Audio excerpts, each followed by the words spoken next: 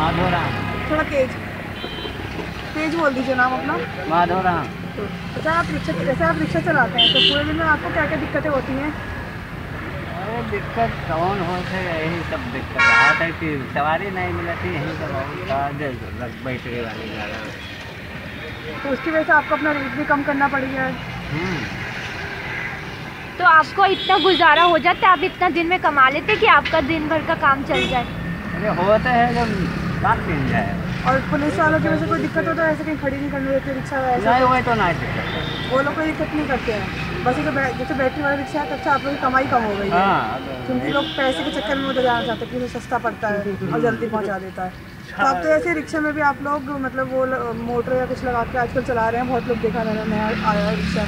तो उससे कुछ फ़ायदा होता है या उसमें भी नुकसान ही हो रहा है? उनके तो हो जाए उनके सवारी निकल जाए।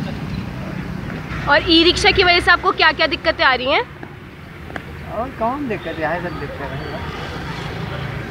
सवारी नहीं मिल रही। कोई आता नहीं जल्दी से।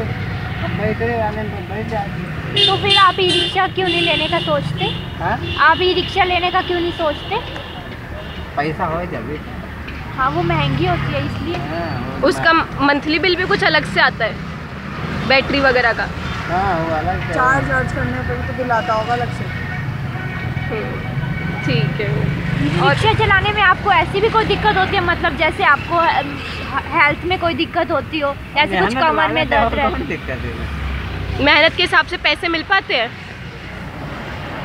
अब इन्हें हमारे नहीं मिल रहे ये दस पर जाते हैं उसे। बीस मांगी थे तीस मांगी थे तो हो रहा है हाँ मतलब हाँ जी। Thank thank you uncle thank you